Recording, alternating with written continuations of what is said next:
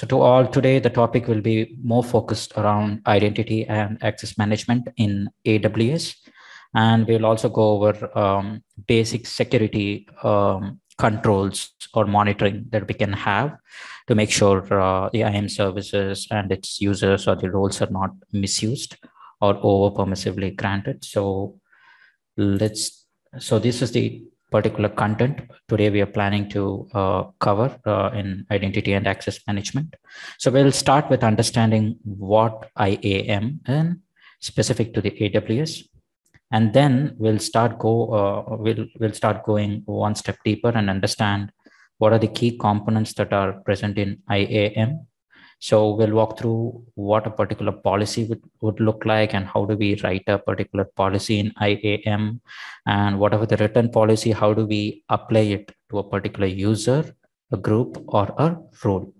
And there are some advanced, advanced concepts as well, uh, like secure token service, as well as inline policy, which will help us um, to give specific granular level uh, access and as well as uh, if, the, if you have any automations or any scripts that needs to access AWS services or any resources, we can leverage IAM role and STS.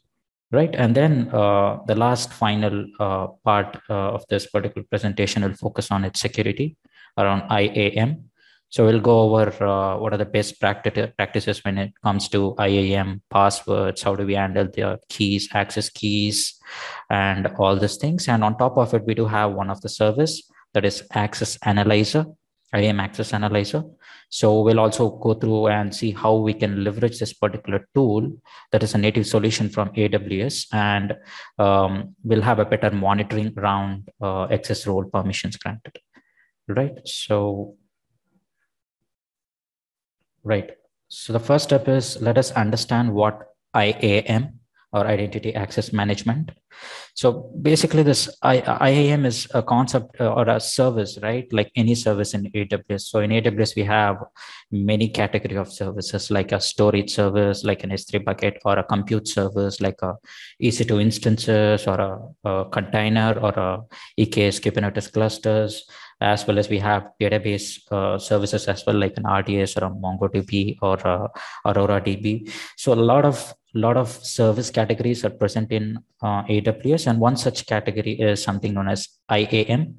So this IAM is uh, completely focused on the authorization level part, right? So IAM uh, concept comes in once the user logs into particular uh, AWS account or ha- uh, has access to an account, right? So here uh, AWS uh, IAM completely focuses on what resources a particular user or a group or a role can access right so in iam we write policies and these policies are, policies are nothing but statements or instructions where we specify a particular in a particular policy what are the um, uh, resources that a particular uh, uh, user can access and what what level of access within the service can be right so we'll go one one at a time and uh, we'll have a better understanding as we go forward in this particular session so so yes iam is basically more focused on authorization or the permissions on uh, AWS resources and services, and it's completely works on policies. So the uh, so in AWS, right, the key or the key service or the main uh, service how the AWS functions is based on IAM. Right, without IAM, none of the services will be, uh, none of the able, uh, services will be able to communicate or uh, interact with so IAM is specifically as I, as we just saw, it's it's more focused on authorization, right? So we define policies. In policies, we'll we'll see um, how to define what resources and what API calls are allowed or what actions are allowed on those resources, right? And how to apply this. And IAM policies can be written and uh, applied using many uh, uh, multiple ways right, like uh, AWS Web Console that we access in a browser, right? Using a console, we can also write IAM policies and attach it to a user or a group. Or we, uh, we can leverage uh, AWS CLI, command line tool. Or if we are a programmer or a developer, we can also leverage SDK, right? If if there is a Python pro Python programmer or a developer, he can leverage Boto3 uh, library that is designed by AWS. And specifically, if there is a Java developer, there is a separate library completely focuses on um, uh, AWS services. So you can leverage these libraries to write your uh, application logic or build any automations around cloud.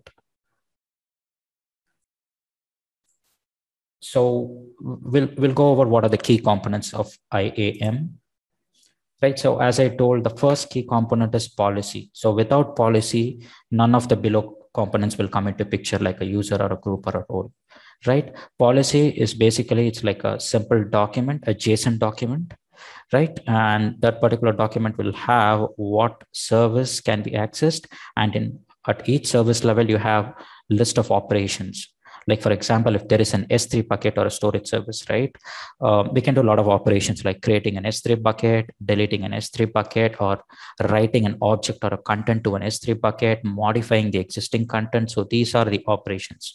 So within the policy, we can mention uh, what resource and top of it what are the actions that are allowed within the policy once we have this written we can apply it to the particular iam user or a role right? So when that particular IAM user tries to access uh, uh, via the uh, via the AWS, right, whether CLI, SDK, or Web Console, he will be able to do only those things that are mentioned or authorized within that policy, which are attached to him, right? So that is about policy. If it uh, so, IAM user is nothing but a single user, right? So um, so you're working for a company there are thousands of employees right so each employee will have access to not each employee, at least most of the employees around IT, um, security, uh, engineering teams, right, will have access to AWS or the cloud resources. So each user will have a user account created using their particular official email address, right? So this is nothing but an IAM user. An IAM group is something, um, it's like a cluster of users, right? So I can give you an example of a organization groups, right? In an organization or a company, you'll have a set of groups like a sales group, marketing group, IT, security group, engineering group, so many groups. So rather than going ahead and attaching policy for each users, right, which is a cumbersome process, so we can go ahead and attach it to a group. So we, I'll have an uh, say there is a 50 people working in an IT organization group. So all I can do is just create a single group with the name of IT and then attach a policy to that group right? So basically that policy will say what my it team within the company can do with an aws right? Whether the uh, so say the it team just needs access to ec2 instances s3 and none other services apart from these two. So i can write a policy attach it to uh, a group and then whatever the 50 number of users i can just bring them to this particular group right? And then there is an somewhat a bit advanced concept known as IAM role. So the IAM role is something um, more used for uh, uh, the resource level, right? So the first IAM user and group are targeted towards a particular user or uh, a user, whereas a role is something is specific to a particular resource, AWS resource. For example, say um, EC2 instance, right? EC2 instance uh, wants to access S3 bucket or any other AWS services. So that can be done by using IAM role. So basically, one AWS resource can access an other AM resource by using an IAM role. So basically, during uh, writing an IAM role, we define policies, and in the policies, we'll say what are the things that particular EC2 instance can do, right? And only those are the things that the particular uh, EC2 instance can do. And then we'll go over STC, STS service, which is a very key uh, concept. If you want to understand IAM role, how it works in the backend, STS services uh, key one of the key concepts that you need uh, need to have a good understanding. And then uh, we go over inline policy. Inline policy is like more focused around uh, um, one-on-one relation. So we'll get to know as we go along. And then we'll go over the uh, best practices around IAM passwords and access keys. So what are the types of policies are available in AWS? Right. So there are three types of policies that are available. Um, so we'll start with AWS managed policies. So these policies are nothing but um, AWS provides us these policies as a package, right? Once we have an AWS account, we have registered with an AWS, we'll get us we'll get a set of policies. Uh, I think it's more than 200 policies. So we can basically consume those policies based on our needs, right? Say and second set of policy, uh, second type of policy is more around customer managed. So customer managed managed policies are those policies that uh, a company requires a customized way of writing policy where uh, the via the aws managed policy we are not able to get it. Right if there is a policy that you need to combine multiple resources together in a single policy or a, any kind of other services which are not part of aws managed policies then we can write our own customer managed policies and then we have the third one known as inline policies. Inline policies is something very similar to the uh, um, AWS managed as well as customer managed. The difference is it's a one-on-one relation, right? So when we talk about AWS managed policies and customer managed policies, the first two, these two policies, when we write a um, AWS or customer managed policies, we can apply this policy to any number of IAM entities. So when I say entities, it can be IAM users, IAM groups, or IAM role. So this, uh, the first two policies can be applied to any any numbers, right? Whereas inline policy is targeted to a targeted to a specific um, user or a group specific. And this policy, once created and attached to a user, cannot be attached to another user, right? Um, and also the visibility. So inline policy, uh, there won't be any visibility if you want to consume it to another user. You have to uh, rather write your own uh, new uh, inline policy and attach it and consume. So there is another section known as resource-based policy, which I'm not, uh, which will be not covered here, uh, because that that will be too much to uh, digest in a single session. So if we have very good understanding around IAM policy, uh, then resource resource-based policy is very simple. It will hardly take a few minutes to uh, uh, get an understanding. So basically, we write policies, as I mentioned, in a form of a JSON. And the key elements that are present in policies are four things that you have to uh, keep in mind effect. So effect action resource and conditions. These four four are the key elements. So um, let, let us go over here. So this is how a policy looks like right? So this is specific to aws managed policy. Um, so if you see the right uh, the right side type you can see aws managed. And the policy name is like Amazon DMS Redshift uh, S3 role or uh, Amazon S3 full access. So we'll go uh, and see what this Amazon S3 full access does, right? So as I mentioned, it's a JSON, um, uh, JSON in terms of JSON, we define the policies. So here we see um, two things on top, right? Version as well as statement. So version is something that can be anything but statement is something uh, is the key right within the statement we have um, four important parameters. So as i mentioned in the previous slide these are the four things effect action resource and condition. So effect is basically you have two possible use cases either allow or deny. So only possible values within the effect parameter is allow or deny right? If you want to allow something you write it as an allow. If you want to deny something you write it as a deny right? And action action is something uh, you can call it as a api call or action right? Resources basically what service you want to uh, give access right?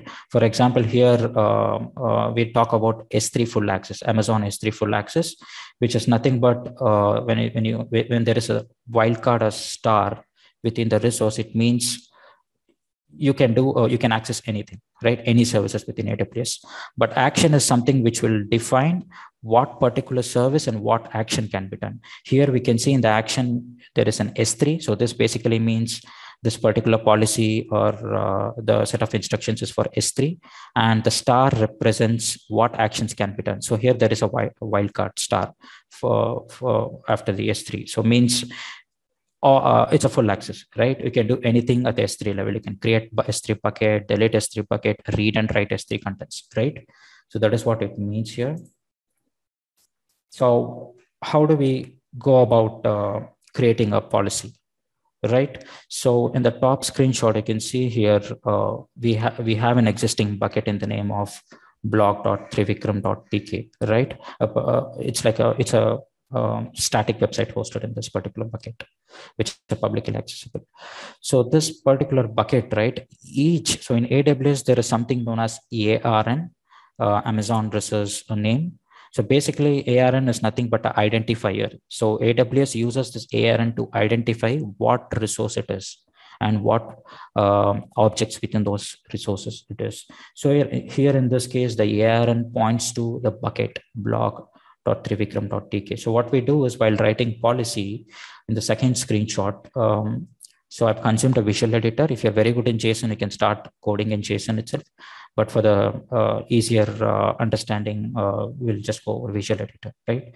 So within the S3 section, we'll see a service. So we here we select S3. So we want to write policy for S3, right? So we select S3 and actions. Actions are like currently say there is a need to only read. I want someone to just read the content of my bucket blog blog.trivikram.tk bucket. I want someone to just read the bucket contents. I don't want him to either write to the content or write to the bucket uh, or make changes or modify my contents in the bucket or delete my bucket right all i want to do is just allow him to write uh, sorry read the uh, contents of the bucket so for that sake um, I have selected get object and bucket, get bucket ACL. So get object allows you to retrieve the objects within that bucket and get bucket ACL is basically nothing but uh, get a, uh, what are the permissions that are there in the bucket, particular bucket and resource.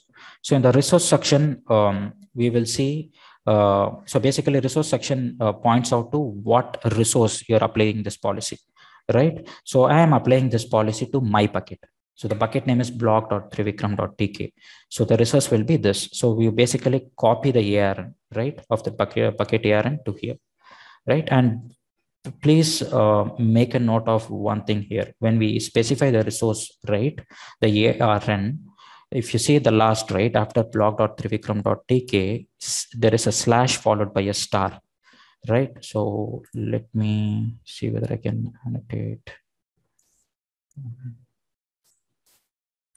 Um, so there is something known as slash and star. So you have to mention this if someone wants to access this bucket, because if just the bucket ARN is mentioned, right? If the this only the ARN is mentioned, then the end user who has this policy attached to his user or a group will not be able to access the contents of the bucket or will not be able to read the objects in the bucket. So make sure you include slash followed by star, right? This will enable you to access contents, contents in the bucket. And then on top of all these three, the service, actions, and resources, we also have um, option to specify any specific conditions, right? So here in the in this condition, I've just uh, mentioned, I've given an IP address, a particular IP address as a source IP. So what this particular policy means is I am allowing access to my S3 bucket to only read the content from a particular IP address, right? So the conditions um, conditions but uh, conditions uh, parameter will help you to write controls, more controls, granular controls. Here I've just restricted to a single IP. So any IP other than this, right? Other than this, any IP trying to access my bucket will not be able to access. So this is how we create a policy manually, right? So this particular screenshot, right? Couple of screenshots. The left side of the screenshot shows you uh, types of policies, right? So in the top, we see customer managed policy. So previously we have written this policy and I have named this policy as a sample customer policy, which is a customer managed policy that I have written. And top of it, there are other policies that AWS gives us for our, uh, uh, so that we can live, start leveraging it right? So let us go uh, and read the JSON document of the cust customer managed policy that we wrote. Um, so this is how that uh, JSON structure will look like. So here uh, we'll see the same. So the effect is allow followed by what actions. So actions are in S3 level. I'm uh, I'm enabling get object. That is basically read the object from the bucket and read the uh, access control list of, of that particular bucket. And on, uh, on the resource, uh, I've just mentioned my bucket, the ARN of my bucket followed by slash and star.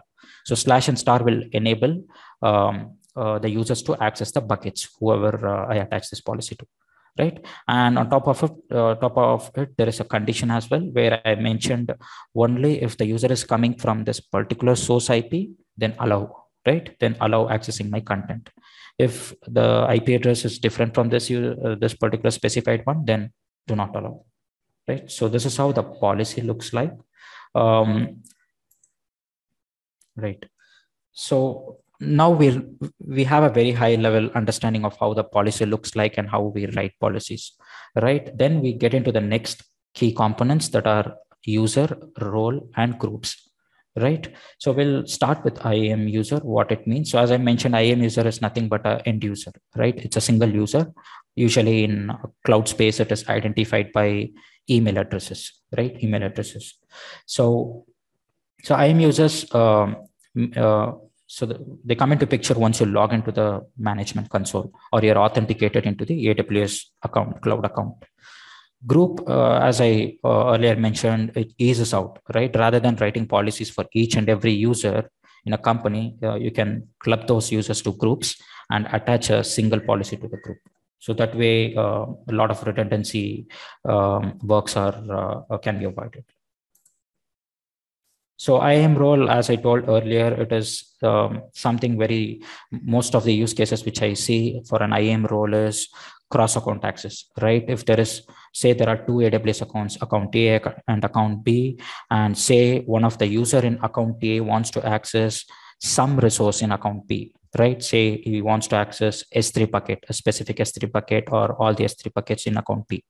So we can leverage IAM role so that once we write the policies and attach IAM role, we can uh, uh, basically use this role to uh, attach it to the user and get access to it. This uh, we'll see practically how uh, this works, and that will give a very clear picture. So, so on a, on a very high level, when we talk about IAM policies, IAM policies can be attached to any entities, IAM entities, users, groups, and roles. So that's a common concept, right? Policies is something common across users, groups, and roles. And policies are nothing but statements, JSON statement, where we define what are the things can be done and what are the uh, actions authorized. And on top of it, we can also include conditions. So IAM user, as we have already spoken, uh, it's targeted to particular users. You write a policy uh, and attach it to the user. So here in this case, there, there are three users, Susan, Dave, and Bob. So each user are referred to as IAM users, and you can attach policies to each individual users. Right. So how do we create an IAM user? Right. So we understand policy, how to create a policy and how to interpret policies, right? How to read the policy and get an understanding. Now we'll see how to create an IAM user within AWS. So all we do is um, we go to the IAM section, click on add user and we start adding the uh, particular user. In this case, I've taken a simple user, sorry, sample user. So the user can be anyone. It can be an actual employee of the company, or it can be even some service account, right? Say if I want to run a particular cron job or any automation scripts or any uh, tasks or any scheduling jobs to be run. And uh, what I can do is I can create a user for that purpose. So similarly here I've written sample user and use this particular user user to uh, run those jobs and access our AWS uh, resources and data based on our uh, use cases required. So here when we create a user, we also have a couple of options where the access type can be just a web console, AWS web console or programmatic access. So this is where the difference comes in. Say if it's an actual employee from say um, sales or a marketing right most of the time they will not have uh, use cases for writing programs or any scripts. In that scenario we can just grant them aws managed console access. So basically they will be able to log into the aws account and then see what are the things out there what are the things to get right? Say if it's a developer or an it or a security professional. And basically in all this IT and security and engineering uh, uh, uh, groups, there will be need for both access, uh, AWS Management Console as well as programmatic access. So programmatic access, if you enabled, right, it creates a set of keys, access key and secret key. So these two keys are used in your automation scripts, right? If you want to write an automation, you have some logic, uh, some logic written for some job, and that uh, say there is a script that wants to read data from S3 or read data from some other AWS services. What you can do is you can leverage this particular access key and uh, secret key that we create here. So that is one thing. On top of it, you can also uh, write your uh, custom password or auto generate the password. And also you can enable forcing that particular user. If it's an employee or an end user, right?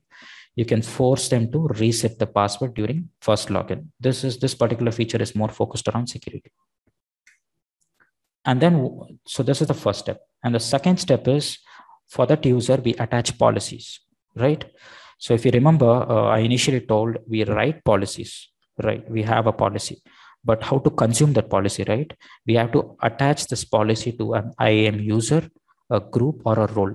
Until we don't attach we'll be not able to consume this uh, AWS resources, right? So here in this case, uh, the previously written customer managed uh, policy that is sample hyphen customer underscore policy, right?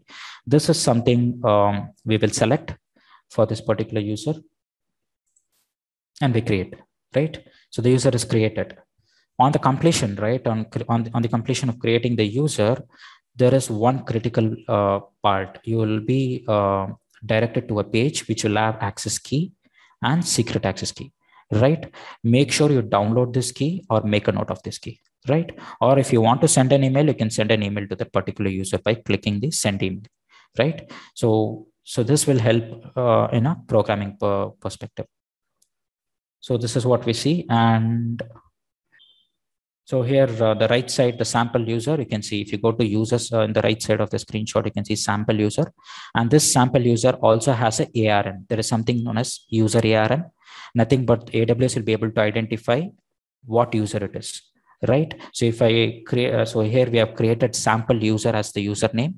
So say if there is an employee with the name Bob, right? I'll create a, a user account for Bob. And basically the ARN will point to user Bob right? And in the within the ARN, you see something after IAM, right? It is some numerical number, 81601488073. So this is nothing but the account, AWS account. So this will differentiate actually, right? So for each account, uh, the uh, account number will vary. So basically, the ARN will have what service it is. So IAM is the service, uh, and after that, the account account number and what entity it is, IAM entity. So in this case here, user. If it is a group, you will see group. If it is a row, you'll see role, followed by the name of that. So here we have mentioned sample user as the user.